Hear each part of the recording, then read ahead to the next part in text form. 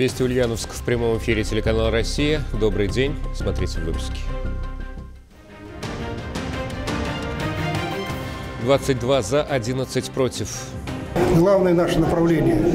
Но не как разделить. Разделить мы всегда успеем. А как наполнить казну?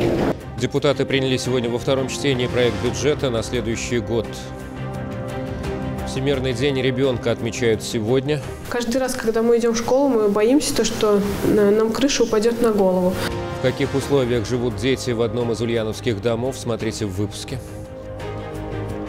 Обманывал пенсионеров. Ульяновские полицейские задержали мужчину на территории Архангельской области после совершения очередного противоправного деяния. Ульяновцев просят сообщить в полицию, если к ним в гости приходил подозреваемый в мошенничестве.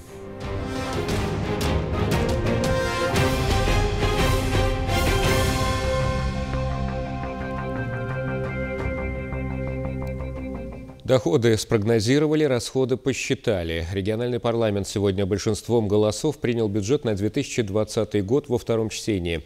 Главный финансовый документ сверстали с дефицитом. Как и прежде, более 70% областной казны направят в социальную отрасль. За голосованием наблюдала Кристина Агафонова.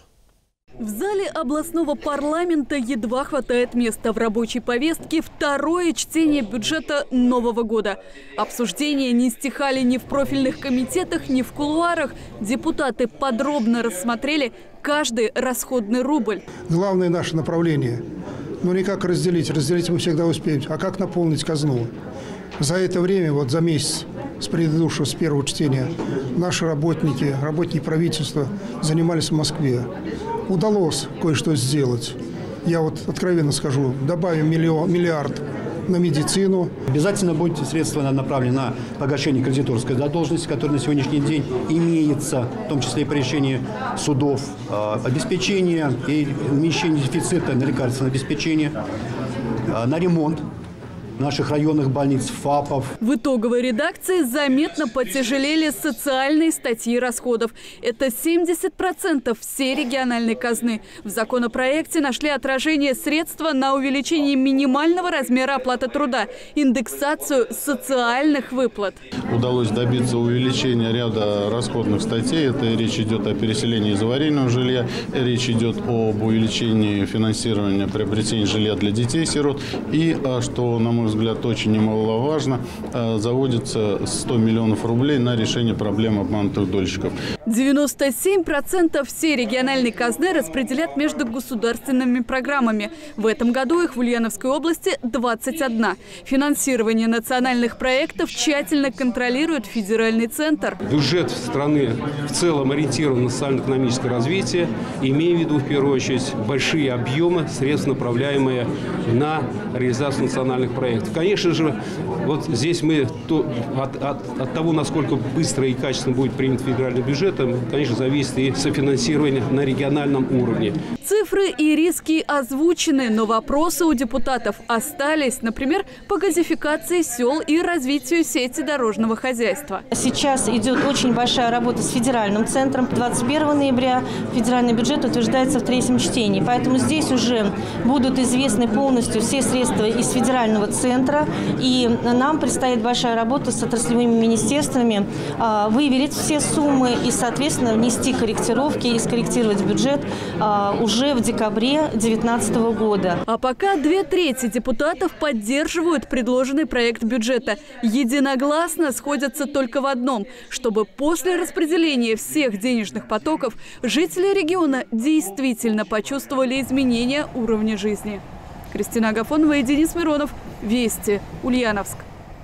20 ноября во всем мире отмечается Всемирный день ребенка. Важная веха в становлении детских прав была провозглашена Генеральной ассамблеей Организации Объединенных Наций в 1954 году.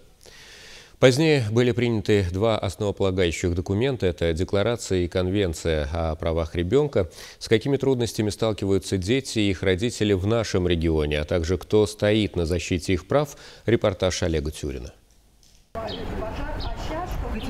Воспитатель в детском саду и сама многодетная мама. Юлия Завьялова с тремя детьми живет в постоянной опасности. Причем исходит она от того места, где человек, согласно английскому выражению, должен чувствовать себя защищенным, как в крепости.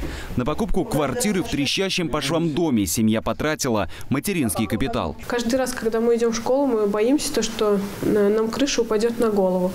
А в доме многочисленная плесень, из-за этого дети постоянно болеют.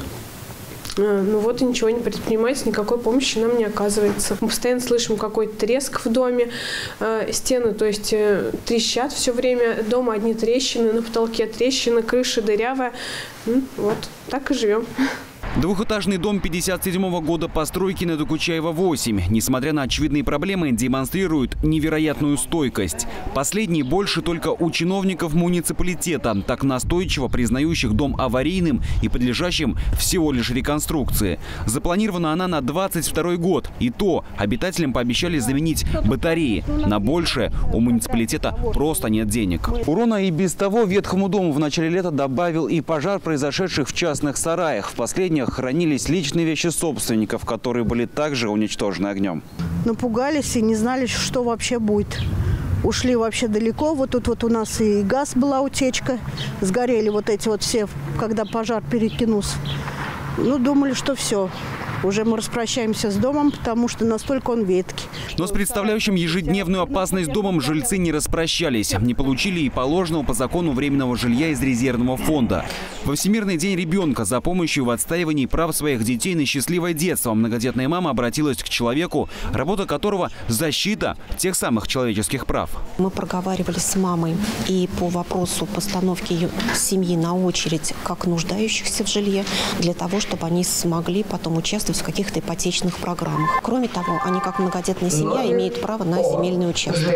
Но к сожалению, они пока этими вот как бы своими льготами они не воспользовались. И мы постараемся им в этом направлении помочь. Только за один год на стол уполномоченного по правам человека в нашей области поступает тысяча заявлений, за каждым из которых стоят большие и маленькие трудности взрослых и детей. И случай Юлии Завьяловой – тот пример, когда решение проблемы по одному обращению может решить проблему десятка жителей жителей целого дома.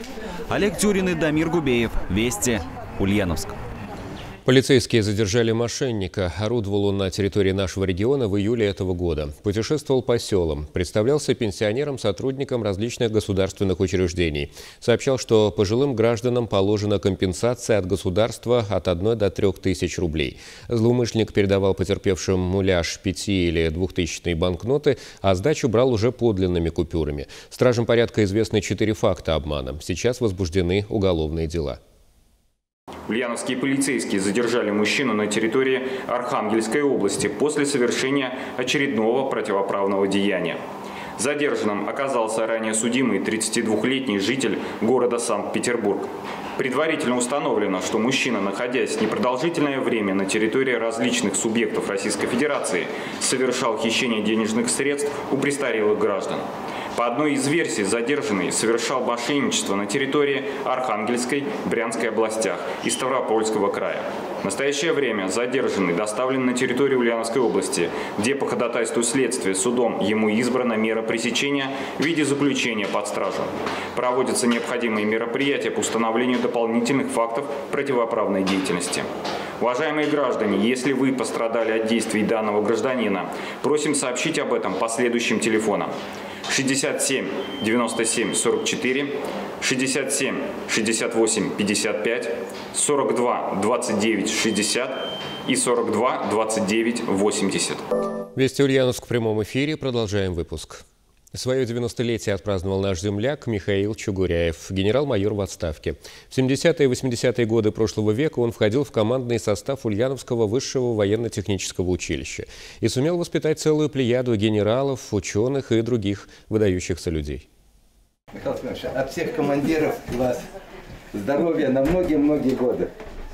Родился Михаил Чигуряев в ноябре 1929 года в деревне Тарасовка Пензенской области. В 1950-м окончил Одесское краснознаменное пехотное училище.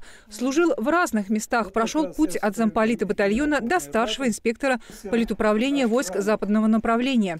В 1970-1984 годах Михаил Тимофеевич проходил службу в Ульяновском высшем военно-техническом училище имени Богдана Хмельницкого. Сказать, ради чего мы живем, ради того, что мальчишки стали генералами, стали полковниками. То есть наши воспитанники превзошли нас, обогнали. Молодость – это весна. Что весной посеяли, то мы пожнем. Копал он землю, копал окопы, учился, познавал военные знания. И вот эти знания как раз привели его генерал-лейтенанта сегодня за торжественный стол. Поздравить со столь значительной датой 90-летием своего наставника и командира приехали выпускники Михаила Чугуряева, а теперь военачальники и ученые с разных уголков страны. Без воспоминаний, конечно, не обошлось. Я вам назову только такую фамилию. Э, Станислав Сафонов, которому вы, наверное, не забыли. Я помню. Приходит замполит, нет курсанта. Как нет курсанта? Я Турчинскому нет курсанта. Как курсанта? Нету. Тут чердаки облазили, все проверили. Нет, нет, нет. Турчин, Михаил Андреевич, бросайте все, ищите, ищите. Это не главное. Главное да. то, что воздействие, во-первых, как на вот это его воздействие, она позволила этому человеку стать полковником, стать начальником кадры, стать кандидатом наук. А если бы было упущено, был бы такой результат? Нет. Его тогда, во-первых, избили бы. Он ушел в самоволку днем, поехал в Ешевку, расписался, расписался. Приходит жена. Многие курсанты, а теперь офицеры, вышедшие из-под крыла Михаила Чугуряева, побывали в горячих точках, но даже там не забывали своего учителя. Я не представлял, что, может быть, буду в горячих точках. Но мне довелось быть на Северном Кавказе. И когда мы готовили ребят, ребят туда, на Северный Кавказ. Я вспоминал, как готовил нас Михаил Тимофеевич, как давал основы политической работы, воспитательной работы. И это дорого стоило. И боевые лески, и выпуски показ передовых людей, и вот чисто человеческое взаимоотношение. В течение всей службы Михаил Тимофеевич вел поисковую работу. Он собрал большой документальный материал о героях Советского Союза. С мая 1962 года офицер Чугуряев становится еще и членом Союза журналистов журналистов СССР, а затем и России. Его материалы регулярно появляются в различных военных и общественно-политических СМИ. Мы жили в однокомнатной квартирке в Хрущевке угловой. Э, папа, видимо, проснулся. Э, я думаю, что он вернулся ночью, приехал с командировки. Э, я проснулась, десятилетняя девочка. И папа всегда нам приносил, привозил какие-то гостинцы. Вот. И я думаю, ну что он в этот раз привезет? А я увидела на столе стопку пожелтевших это даже не газеты, это были боевые листки, это были окопные газеты. Сейчас Валентина Резник, учитель истории, помогает изучать своим ученикам военное прошлое их семей. У Михаила Тимофеевича две дочери, есть внуки и правнуки. И один из них, Кирилл, продолжает военную династию своей семьи. Учится в Московском Суворовском училище. Элла Шахова, Денис Миродов, Вести Ульяновск. В Ульяновске осветили склад гуманитарной помощи «Благостыня». Это учреждение существует при Симбирской епархии и работает совместно с проектом «Мама Help», который с марта этого года реализует Симбирское общество милосердия. Проект ориентирован на оказание помощи многодетным семьям, одиноким мамам с детьми и семьям, попавшим в трудную жизненную ситуацию. Торжественное освещение склада совершил митрополит Симбирский Новоспасский Иосиф. Твое, бо есть, еже миловать и спасательный Боже наш, и Тебе славу воссылаем. Чтобы воспользоваться услугами склада и стать участником проекта, необходимо войти в группу «Благостыни» ВКонтакте и написать заявку, указав, в чем вы нуждаетесь. Сестры Милосердия соберут необходимые вещи и передадут вам. Я думаю, что этот центр будет востребован, потому что нуждающихся людей пока у нас еще много наша христианская обязанность оказывать помощь таким людям. Мы сегодня открываем этот центр с надеждой, что он будет приносить пользу людям и через работу этого центра мы будем осуществлять благотворительную деятельность, то, что есть наше христианское делание. Нуждающихся много, поэтому организаторы центра с признательностью примут от дарителей, благотворителей и предпринимателей новые вещи, особый спрос на детскую одежду, обувь, памперсы и другие принадлежности для малышей. Принимаются от дарителей вторичные вещи, но только теплая одежда и только хорошего и отличного качества. От барокко до авангарда 25 ноября на сцене Большого зала Ленинского мемориала в рамках большого юбилейного гастрольного тура выступит Российский государственный академический камерный Вивальди оркестр под управлением народной артистки России Светланы Безродной. Единственный в своем роде женский струнный оркестр был основан в 1989 году известной скрипачкой и прославленным педагогом Светланой Безродной. За три десятилетия коллектив дал около трех тысяч концертов. В репертуаре оркестра отечественная песенная классика, городской романс, оперетта, музыка из репертуара всемирно известных танцевальных и джазовых оркестров 20-50-х годов 20 -го века, Особое место в творчестве коллектива занимает и патриотическая тематика. Насладиться творчеством Вивальди оркестра ульяновцы смогут в понедельник в Большом зале Ленинского мемориала 25 ноября, начало в 19 часов. Ток-шоу Андрея Малахова «Прямой эфир» продолжит программу телеканала «Россия». А у меня на этом пока все. Итоги дня сегодняшнего подведем традиционно в 20 часов 44 минуты в программе «Вести Ульяновск». Не забудьте включить свои телевизоры. Ты молод, амбициозен и талантлив, ищешь возможность реализовать свои идеи, хочешь стать автором прорывных технологий в медиаиндустрии? НАТ, АТРП, ВГТРК, Тракт представляют конкурс «Первый шаг». Если ты студент, аспирант или магистрант технической специальности российского вуза, который хочет изменить мир к лучшему, повлиять на будущее отечественного телевидения, ты нужен нам.